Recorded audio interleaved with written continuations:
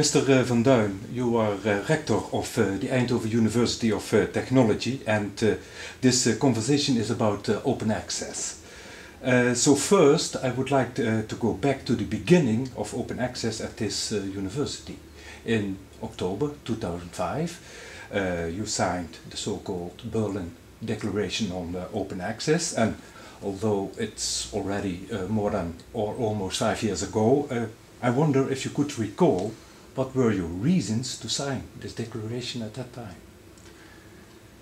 It's a long time ago indeed, yeah. but uh, the reason is, is very simple because of these two words, open and access. Okay. Because all our information, or much of our information, is acquired by public money. Yeah. So it should be open and it should be accessible, available, worldwide. I think this is also an act of social justice. Okay, I think yeah. this is also how it is, has been viewed by the uh, VSNU, the uh, yeah. Dutch universities. And it is also good for our scientists because their work is uh, better cited. It, yeah. it is okay. Well as you said, uh, five years have passed, and uh, a lot of progr progress has been made uh, with regard to open access.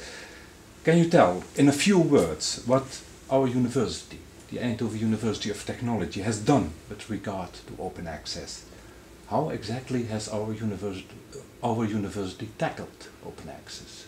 Uh, we decided uh, some time ago to, to follow the so-called green route. Yeah.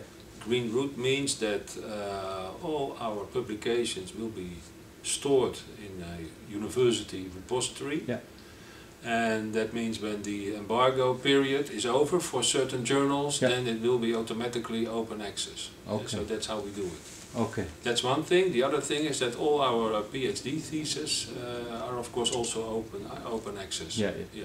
Yeah. Concerning throughout the Netherlands. Yeah, yeah. yeah. Concerning the the PhD thesis, I think open access is really a fact al yeah. uh, already. Already. Yeah.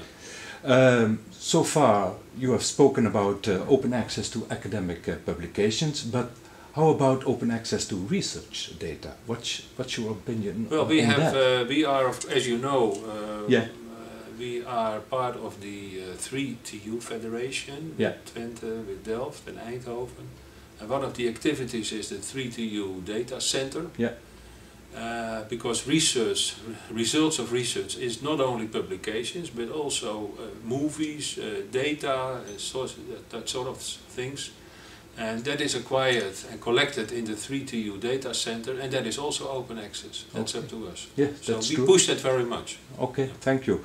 Mr. Van Duijn, thank you for this uh, conversation. You're welcome. Thank you.